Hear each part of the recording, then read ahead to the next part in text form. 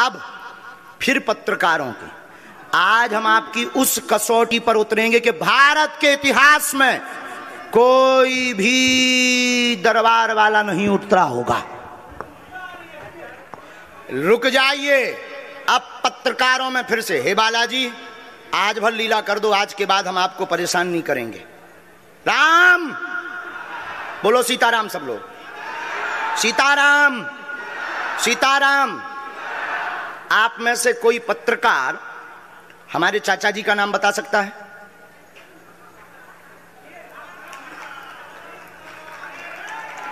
बोलिए। बोलिए बोलिए। आप में से कोई पत्रकार हमारे बल्कि चाचा जी का नाम उस पर भी है, संस्कार टीवी पे, कोई बता सकता है?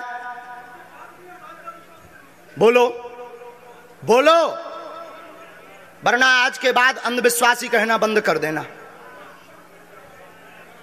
क्या बता सकते हो? अब आप पत्रकारों में जिनके चाचा का नाम भृगुनाथ तिवारी हो वो आ जाए।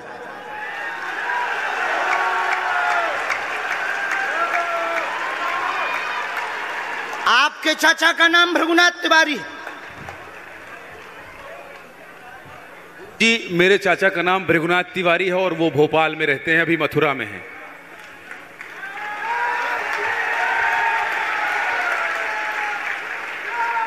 आज लेकिन हमने लास्ट अनुमति ली है अपने बालाजी से। क्या तुमने पहले बताया? लोगों को अंधविश्वास में तो नहीं ढकेल रहा महापाप पड़ेगा अगर तुमने बताया हो। गुरुजी मैं तीन दिन से बल्कि इस सच्चाई को एबीपी न्यूज़ में दिखा रहा हूँ। मैंने कोई अंधविश्वास फैलाने का और बताने का काम नहीं किया है। मैं यहीं से आपके दरबार से जनता तो क्या तुम्हारे भाई का नाम राघवेंद्र तिवारी है? जी गुरुजी।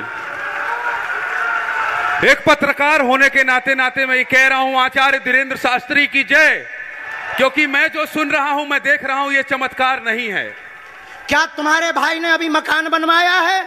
जी गृह प्रवेश किया है दो दिन क्या पहले। तुम्हारी भतीजी का नाम अभिसी है? जी गुरुजी। आज के बाद अब अंधविश्वासी कहना बंद कर देना वरना नंगा कर दिया जाएगा। हम हनुमान जी के सेवक हैं। ललकार कर करते हैं कि हमने संतों की चरणों की तपस्या सीखी और सन्यासी बाबा की कृपा को पाया है।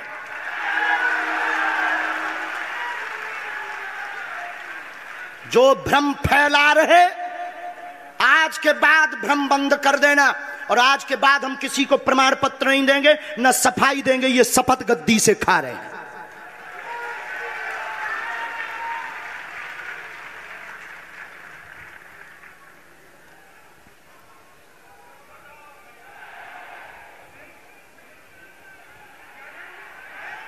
पूरे भारत को अंधविश्वास में धकेलने के लिए हाँ तो नहीं बोल रहे। जी, बिल्कुल नहीं बिल्कुल नहीं। मैं बहुत ज़िम्मेदारी से कह रहा हूँ और मैं तीन दिन से इस सच्चाई का पता लगा रहा था और एबीपी न्यूज़ जो लोग देख रहे हैं उनको मैं बता रहा हूँ कि ये लाइव ये लाइव दिव्य दरबार के टेस्ट में आचार्य धीरेन्द्र शास्त्री जी ने जो कहा है, मैंने केवल इनसे इंटरव्यू किया था, अपनी जीवनी नहीं बताया था, जो इन्होंने बताया है वो सच है और मैं ये एबीपी में लाइव कह रहा हूँ, ये कोई अंधविश्वास नहीं है। मैं फिर कह रहा हूँ, बाबा बागेश्वर धाम की जय। आज के बाद, क्योंकि आज हमारा दिमाग स्थिर नहीं है, आज के बाद, अब हम कभी भी किसी को भी, किसी से हमें प्रमाण पत्र की आवश्यकता नहीं है। आज पूरी नेशनल मीडिया के सामने हमें जो कहना था, कर लिया। फ़र्स्ट और लास्ट है, अब आपका एक प्रश्न हम बताएँगे। और आज के दरबार को, क्योंकि हम पूर्ण हौस में नहीं है, इसलिए आज के दरबार को हम बालाजी की अनुमति से आए थे, और आज के दरबार को हम इसी के साथ विराम करेंगे। कल चार घंटे दरबार लगाएँगे। एक प्रश्न पूछ लीजिए लास्ट पूछिए। मैं पूछूँ? हाँ।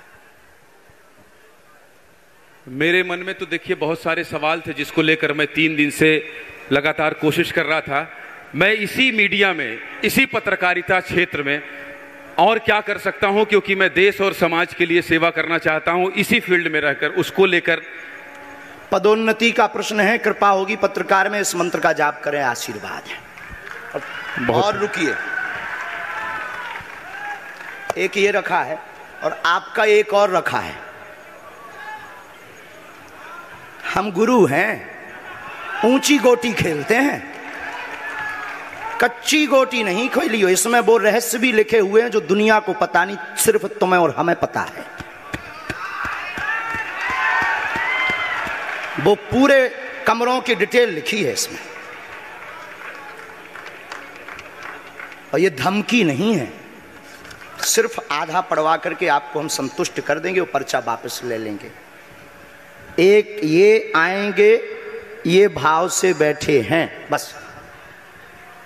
ये आपने भी नहीं सोचा होगा।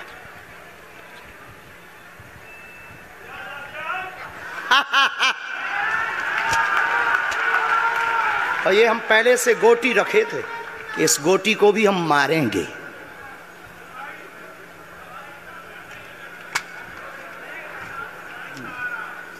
एक पर्चा ले सकते ये वाला नहीं दोनों हाथों की मुट्ठी बांधो सब।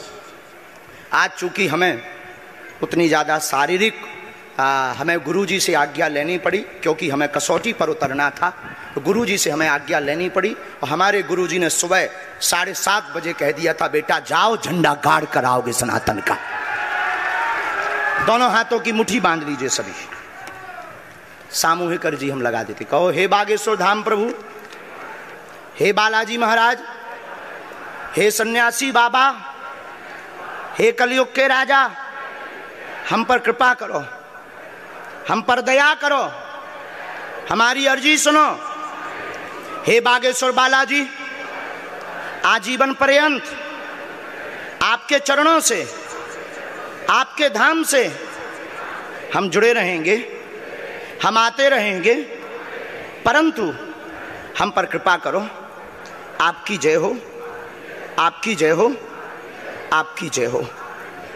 जिनकी अर्जी नहीं लग पाई, आज चूँकि हमें बहुत खेद है कि तुम लोग पाँच घंटे से बैठे और पर्चा ज़्यादा नहीं बन पाए, लेकिन आज सनातन को चुनौती थी और हम सनातन को झुकने नहीं देंगे। इसीलिए हमने आज प्रण लिया था कि हे बालाजी, आज हमको भेजना तो फतेह करवा करके आना। इसीलिए हमें बहुत दुख है और हमारे अंदर उस दुख के कारण आप लोग क्षमा कीजिएगा। और अगर आज्ञा लगेगी तो कल हम चार घंटे तक, कल पक्का है चार घंटे दरबार लगाएँगे। और जिनकी अर्जी नहीं लग पाएगी, वो नारियल और लाल कपड़ा लाना कथा अपने टाइम पर होगी। जो जो प्रश्न लेकर आए, तीन बार बोलो, ओम। ओम।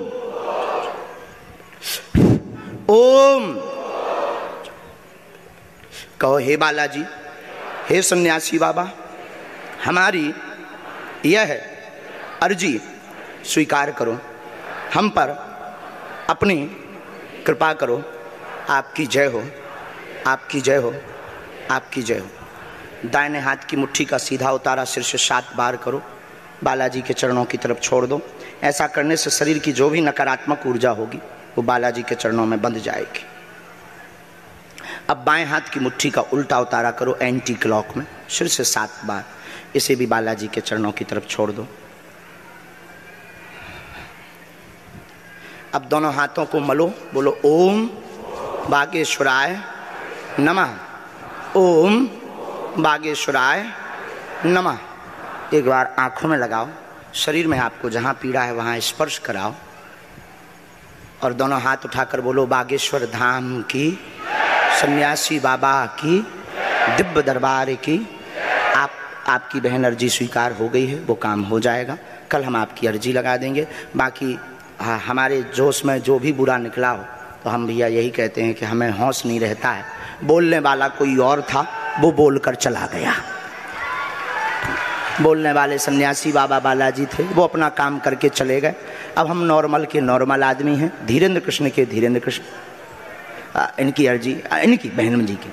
हाँ और जो है कल हम दरबार में, हम आज छत्तीसगढ़ वालों से क्षमा मांगते हैं, और अगर बनेगा तो कल भी अर्जी लगाएँगे और परसों भी लगा देंगे। क्योंकि आज आपका समय खराब हुआ है, इसलिए हम आप लोगों के मन को हीन नहीं करेंगे।